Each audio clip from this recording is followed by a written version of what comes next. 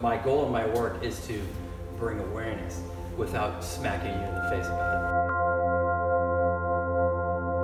Welcome to a special episode of Responsible Impact.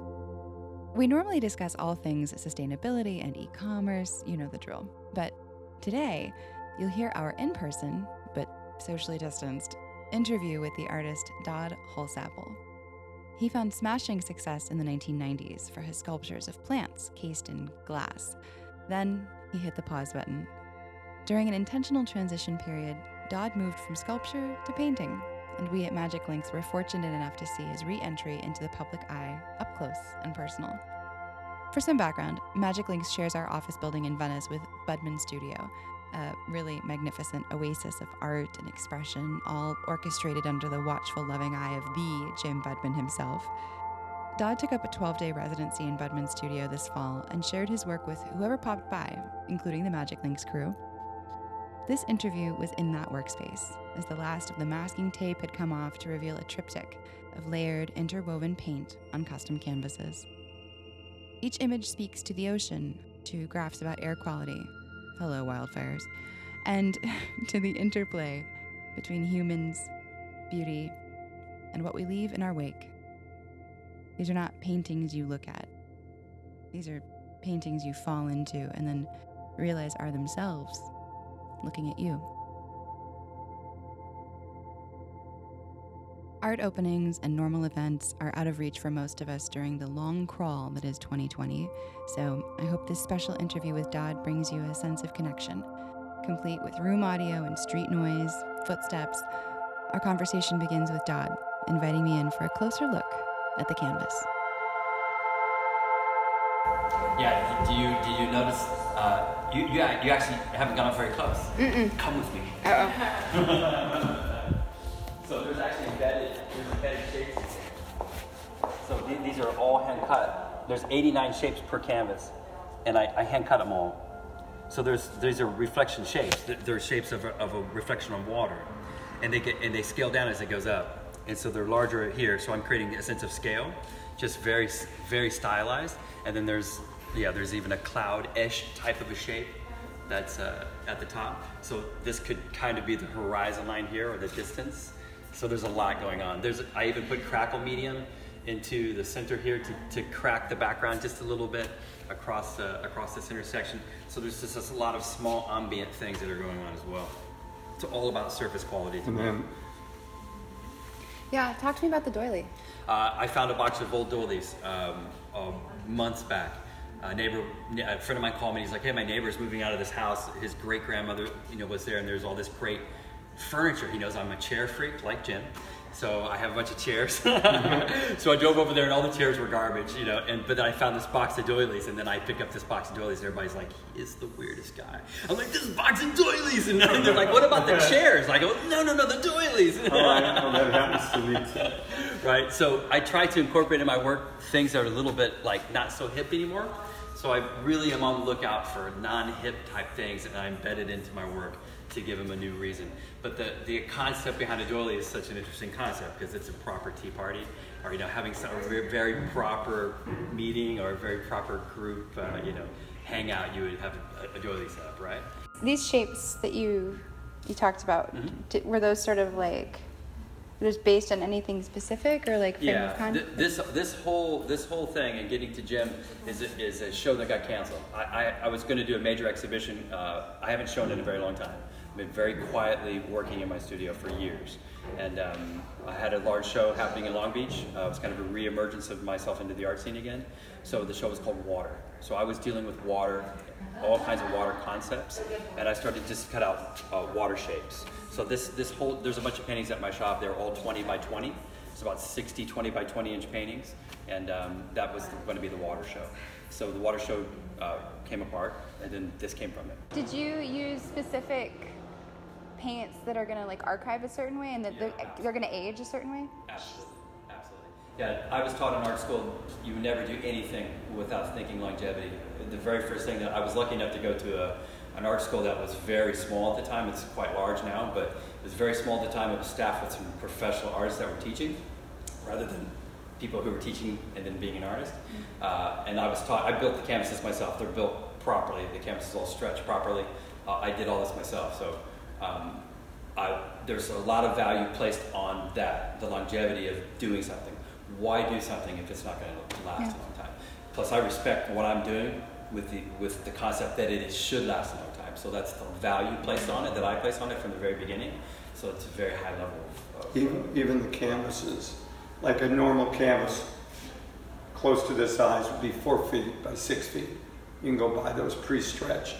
Each one of these canvases made by Dodd, and they're 52 inches by 82 inches. So they're just enough. They're bigger than four by six, which make them really Yeah, the, the scale, the scale of what you're looking at, it's not what you're used to seeing. So alme- already, I've got you at the borders, exactly. right? So you're, you're, you're already pulled in by the border or the framework of the painting, which is already outside of the norm. So it, it all starts to feel comfortable because the scale is, is uh, a very comfortable scale to be working. Elodie was at my shop watching um, several months back, and she was like, I don't know how you're making all these decisions so quickly. I, I normally paint in multicolored. I have paintings at my shop. Jim, you saw a little bit of them, but Yeah. now that you know more, you when you go back and you've seen it. But I, but I, this is more of a monochromatic palette. Difficult in the fact that I have to keep making a new blue, and the only way you can do that is by adding, mixing more blues together. So some of those bars have like six or eight different blues mixed together, very subtly to make a new blue. So it's a different blue. But at my shop, I'm painting in every color. Every single color is on the, is on the table. So I'm choosing something really quickly, and, and Elenita watches. Elenita is somebody that also helps with my books and helps with PR and stuff. And uh, she's like, I don't know how you're putting these colors. She was an art director in New York for 40 years.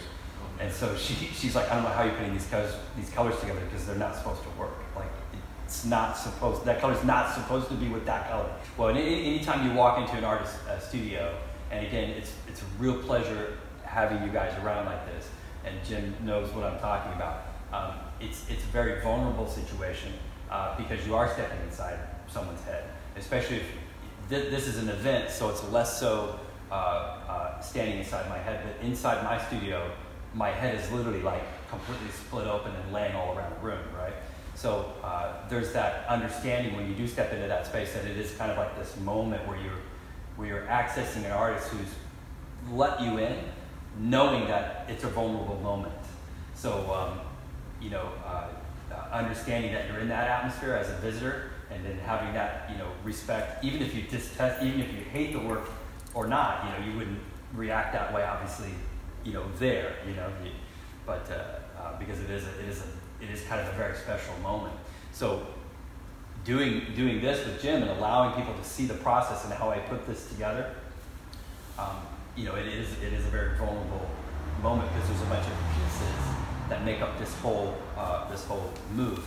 About 250 moves per canvas is everything, including the moving tape and adjusting and, and all the color layouts. And like at one point, we counted. I had 41 unfinished bars, and I knew that there was going to be five to eight different blues on those bars. So just alone, that many blues have to be made, and then that many times of, of stepping to the canvas times that many moves. Yeah, it's, it's amazing. So when you think about it, like most people go like, I have 41 places to still deal with, and I have to make eight blues per space. You know, forget it, right? it's like, well, no, just get started. Just make one, and then now you have one less.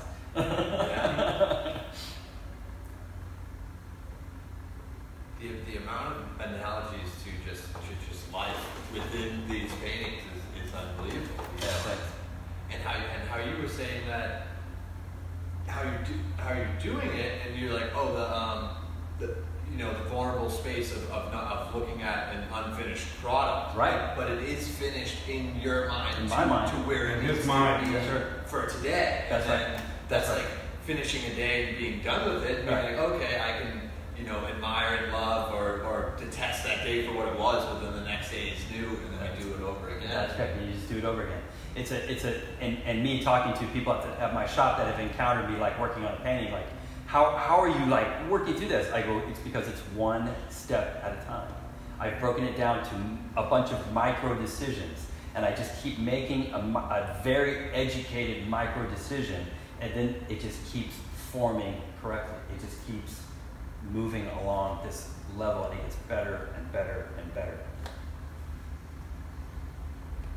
What felt like the biggest risk? Wow. What felt like the biggest risk? Uh, the biggest risk on these was uh, was the color shift. Was uh, I, I after day three that I was here, I was just trying to think. I, I always try to up the ante on myself, uh, and I like pressure. Uh, so I was trying to figure out how to marry the paintings together, even though it was going to be a like this was going to be in a true blue value.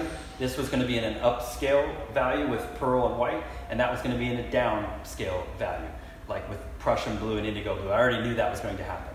So as I was working through it about day three, I thought, how can I up the ante and marry these paintings together? Because not only in the work, I'm thematic in the philosophy.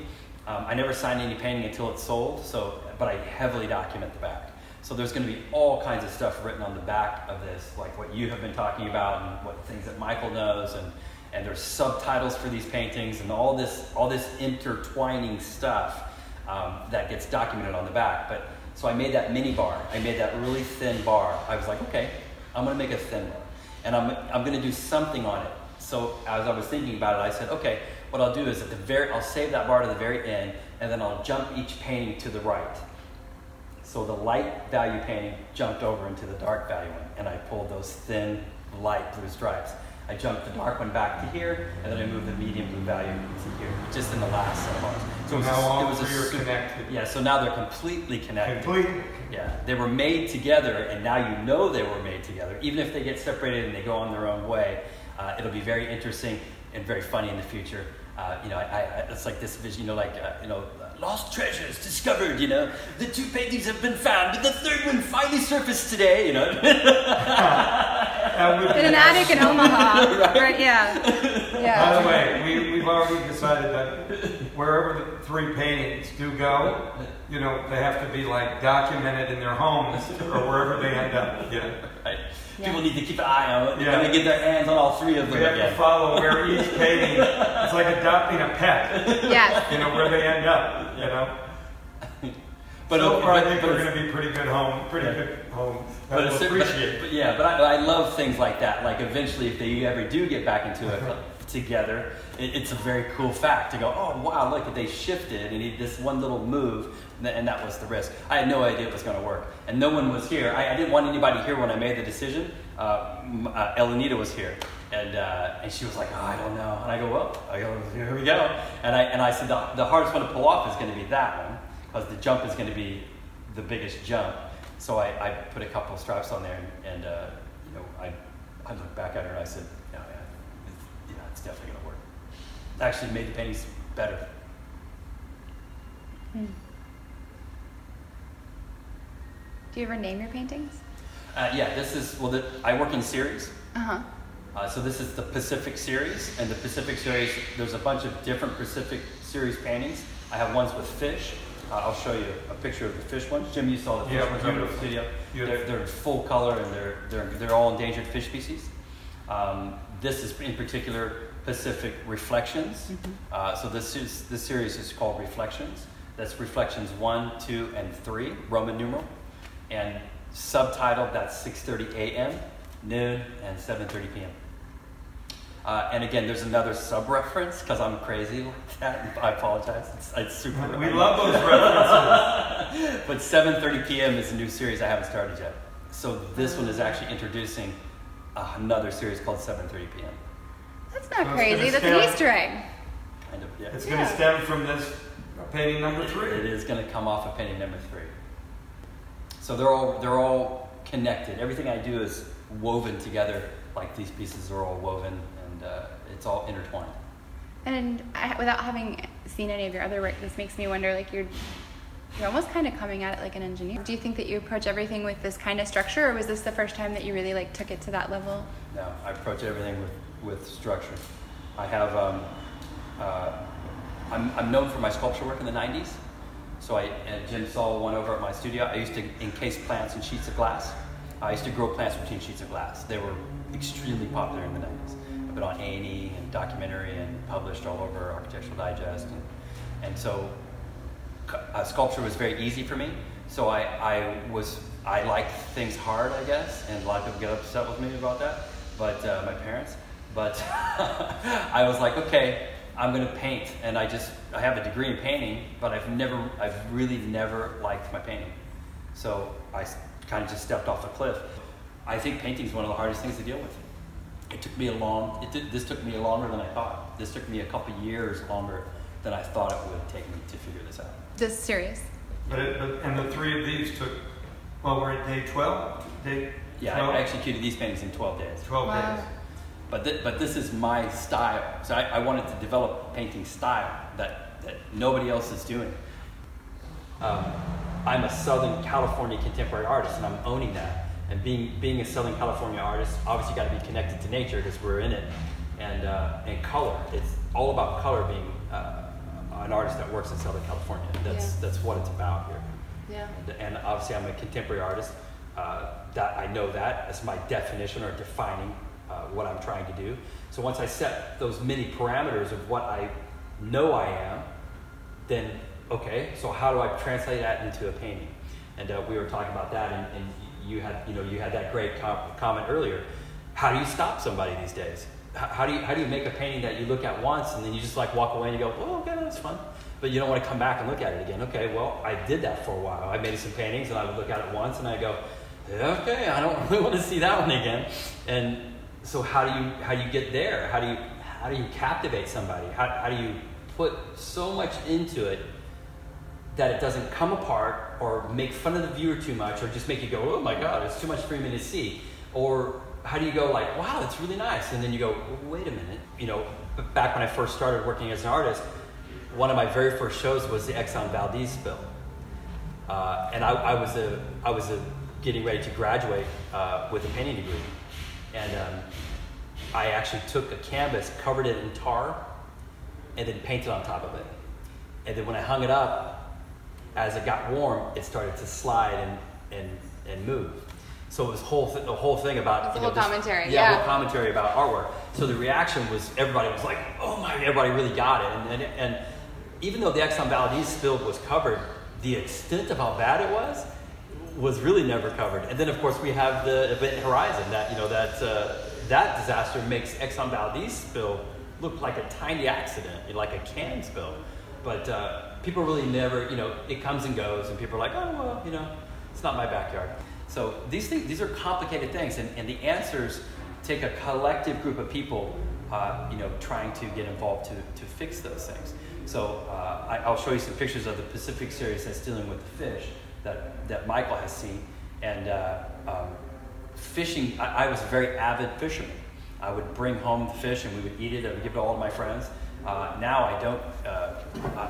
I, I went through a period of time where I was fishing and felt guilty uh, because I've seen the reduction of the fish species. I've seen it change like incredibly to the to the point now where I know for a fact it's not sustainable. It is actually probably past the point of being able to be repaired. Um, farm raised fish and stuff like that is going to cause problems. Here we have COVID.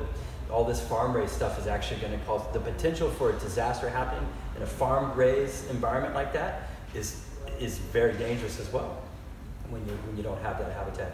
You know, I spend a lot of time going to Japan, and you think about entire entire nations that involve on seafood that, that exist off the ocean, and literally, what are they going to do? You know, what are they going to do? Japan doesn't have enough uh, land to grow enough food for the people who live in Japan. So, uh, you know, I mean, it's I don't the, the answers to these questions needed to be. They, people have been talking about them for years, but no one's doing anything about it. So I, in these paintings, I think I was mentioning to you before, these are not currents to me. These are not waves. This is not the air. These are graphs, charting danger or charting charting things that are becoming a problem. So I, I spent a lot of time looking at graphs and scales and uh, and seeing how they affect us in everyday life. When we were looking at the fires, I don't know. I, I was I was mesmerized by the by the by the smoke or the air quality graphs that were every day, like in the news. They oh these graphs and all these colors and you know oh it's red today. Oh it's going to be orange tomorrow. You know. So that's actually what's going on in these paintings. So these are actually these are actually graphs. So these these are ocean awareness paintings. When you look at it, somebody was here earlier and they were like, "Oh, I love the rainbows," you know, going through the back. That's fine. You can see whatever you want, but there's more in it if you want it. There's a lot more going on here. My goal in my work is to bring awareness without smacking you in the face about it. I don't like art that makes fun of the viewer uh, not for not getting it. Uh, I and again, one of my foundations in deciding to paint is it has to be beautiful. You got to really want to look at it. So, because if, if, if no matter what the message is, if you don't want to look at it, well, then how are you going to get the message across?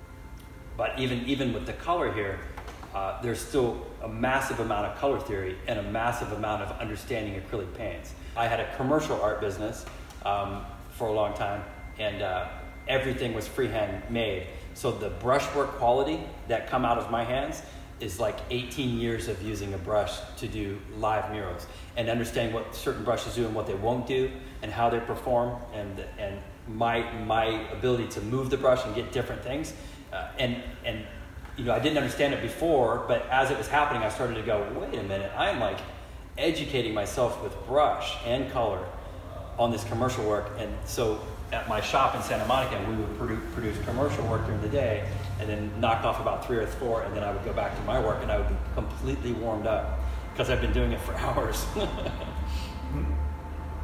um, but yeah, right now there's about 10 running series. Uh, Jim wants me to do something in here. There's a new series that I'm thinking about introducing. It's, a, a it's an entirely new series. I believe it's going to be Landmark. It has to do with uh, uh, Greek and Roman time in the same technique. Uh, so it's something that I'm spinning around. Uh, another ongoing series is Flora Exotica that I've been painting for about 10 years. It's uh, normally endangered flowers uh, in this same practicing format. I have about maybe 50 of those paintings done at the moment this, in my shop. they're very thematic. Um, I'm starting to get geographical now with, with the process, and it's really starting to, to spread out. And so, if you're finishing something like this, but you still have various stages, like uh, developmental phases of these other projects, does does something about these being done shift anything in the ongoing project? So they're all evolving sort of concurrently. That's right, and they all affect each other. Yeah. They all affect each other. Where do you hope they end up? Like they, they live and they end up? Um, I, I, hope my work winds up in the hands of people that uh, that really want it uh, and uh, and kind of are passionate about it. I have to say they're really they're like all the things. They're busy but still, right? They're bright but quiet. It's, it's it's really surprising to see something that can be so many things all at once. You should. It's really an accomplishment. Right? Thank you. I am an avid supporter of chaos theory, and that's that's I, I very much support the theory of chaos, beauty and chaos. Yeah, it's all happening at once. Uh, thank you for seeing that. That and thanks for sharing that with me because yeah. it's what I've really tried to do. Yeah. And uh, nothing nothing in here is random. It's all thought out. Everything is thought out. There was there was another comment made as somebody was walking out in the hallway echoes uh, somebody made a comment uh, as, um, wow, these are just really simple paintings with a lot of color. And, and I, la- I was in here, and I la- when I heard it, I started laughing. And I said, that's fine. You, that, I hope you think that because the complexity in here is enormous. Yeah. It's really off the charts. That, I, sometimes some things like that they say more about the viewer than the absolutely right absolutely does and, and again it's it's very helpful I, am not negative in any way if someone could come in here and, and attack me and tear me down, it doesn't phase me and it, it doesn't make me react back to the person that way. These are also problems that you have with the environment. To be able to fix the environment, you can't fight. You can't have a fisherman saying, Well, I've been fishing my generation after generation. Okay, well, that's great. But something's got to change now. So you're going to have to be, if you are a fisherman, you're active, then you're going to have to figure out a way to do that. You know, you're going to have to figure out a, a sustainable way to do that uh, you know, even even portion sizes. Portion sizes need to scale down. We've been so, you know, some some portion sizes are obscene, and uh, you know, you can even think about it that way. Um, uh, interesting thing for me, there should be no such thing as lobster on sale. Or, or, or scallops on sale. you know, if you can't, if it's if it's something so exotic and something that is being uh, taken from the environment at a, at a scale where uh, it, it can't be, then it should be expensive. If you can't afford it, then you can't eat it. Yeah. Uh, to me, that's very logical. everybody has to work together. Obviously, the tipping point has already happened. Whales are not going to be able to recover. They're, they're never going to be the numbers they were before, and maybe they are past the point of even maintaining a, a healthy level.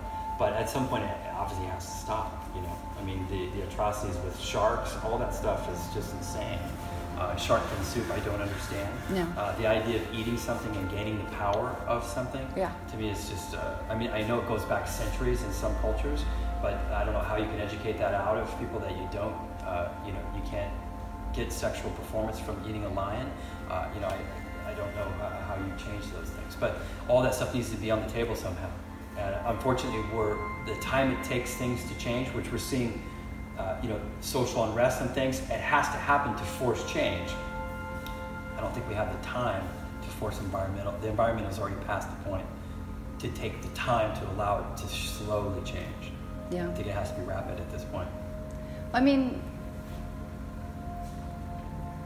we're really, actually, we're not fighting to save anything anymore. We're like saving, we're fighting to get people to think better. We're fighting ourselves. Like the, the fight is against people who insist that they have a right to think in a way that harms Sure. those around them. You mentioned being a sculptor, and you do have a very three-dimensional approach to painting. Is that intentional, or do you think that if you didn't have that background, like, do you have any plans to make any paintings that are really just like flush, or do you always want to work with the texture? And is that a carryover from sculpting? Yeah, it's a, it's a, it's a technique as well. It's a technique that I've discovered that actually works for me. In the in the way that I approach painting, and the way that I want paint to move, mm-hmm. and the way that it works for me. Mm-hmm. Th- This is a this is how paint, brushes, structure, visual elements all work for me. And I love the idea of looking at something from a distance and then getting close and seeing that there's surface quality. To me, surface quality is everything. So now that I've heard you you talk, it feels like these are the first times you've finished paintings and they feel fully, truly honest Uh, for in, you. in this particular series, yes. Yeah, this is this is legitimate contemporary art, and it's current because it, there's all more pieces. So you're, un, you're unraveling more pieces of the puzzle. Mm-hmm. It's 2020. Look look look at things right now. Look at how complex life is. It's an international community. These are international decisions. This is not an individual world anymore. This is not World War One where countries kind of existed, you know, on their own. Now everyone's connected.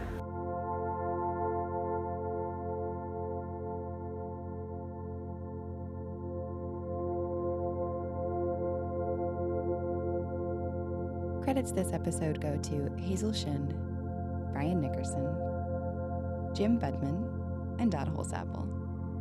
His art can be seen at doddholsapple.com. That's D O D D H O L S A P P L E.com, including the series discussed in depth here.